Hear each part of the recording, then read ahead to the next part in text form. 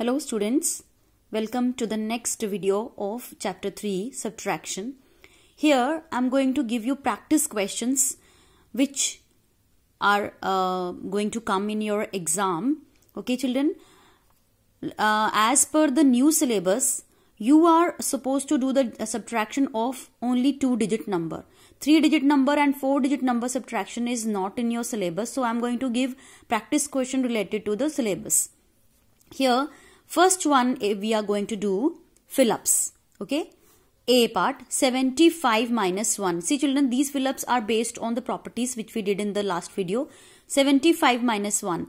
When 1 is subtracted from a number, the answer is always the predecessor.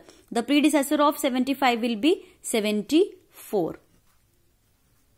Now B part 34 minus dash is equal to 33 means what could be subtracted from 34 to get 33 see this is again a predecessor. So what we can subtract from 34 we can subtract 1 from 34 to get 33 88 minus 88 same numbers are being subtracted so answer will be 0 now 42 minus dash is equal to 42 what can be subtracted from this number to get the same number what can we subtract? We can subtract 0.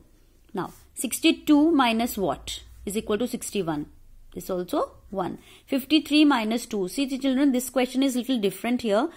We are have not done any property regarding this, but we have to estimate this. See children, here it is a two digit number and here it is a single digit number. So we have to subtract ones place and ones place. Ones place here it is 3 and here it is 2. So we have to directly subtract 3 and 2. Okay, we are not supposed to do anything with this 10, 10, 10 digit number. 3 minus 2, 1 and the digit at tens place will remain as it is 51. 36 minus 0, something when uh, we subtract 0 from something the answer will always be the number itself 36. So here are some uh, homework questions for you. A part 86 minus 86 is equal to dash. B part 33 minus dash is equal to 32. 9 minus dash is equal to 9. 36 minus 2 is equal to dash. 62 minus 1 is equal to dash. Now, next questions which we are going to do are subtraction of two digit number without regrouping. Without regrouping means without borrowing. Okay. Now here I'm going to do two questions for you and two questions you have to do yourself. See children, first one, ones tens you have to write as we had done earlier also. Then leave one box here. 94 minus 42. 4 minus 2, 2. 9 minus 4. Do you remember this? See. See children, in the last videos which we did of chapter uh, subtraction, chapter 3, we had gone from 5 to 9. Suppose the number 4 is given here, we have to start from the next number. If it is 4 here, we will start from 5. 5, 6, 7, 8, 9. What is answer? 1, 2, 3, 4, 5.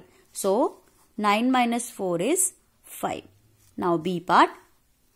4 minus 0 some when we subtract 0 from something we'll get the same number 4 7 minus 3 so we have here it is 3 so we have to start from 4 and we have to go till 7 4 5 6 7 answer is 1 2 3 4 so 7 minus 3 answer will be 4 now C and D part you have to do yourself. C part is 89 minus 64 and D part is 63 minus 21.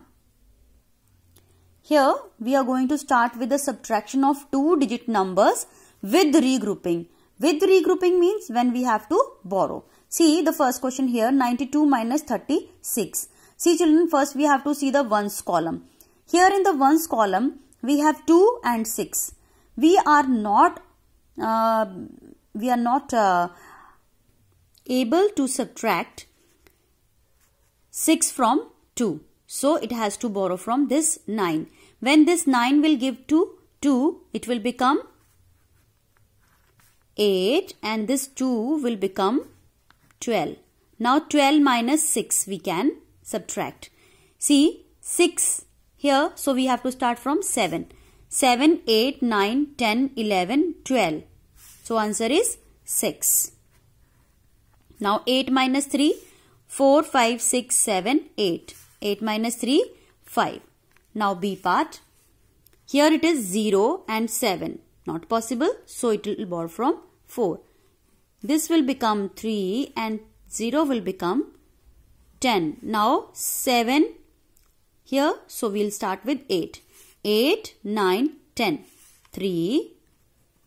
Now 3 minus 1. 2. C and D part you have to do yourself. 92 minus 63 and D part 74 minus 26. So children whenever you practice for the subtraction sums take only two digit numbers and do it with the grouping and regrouping. Okay children practice hard.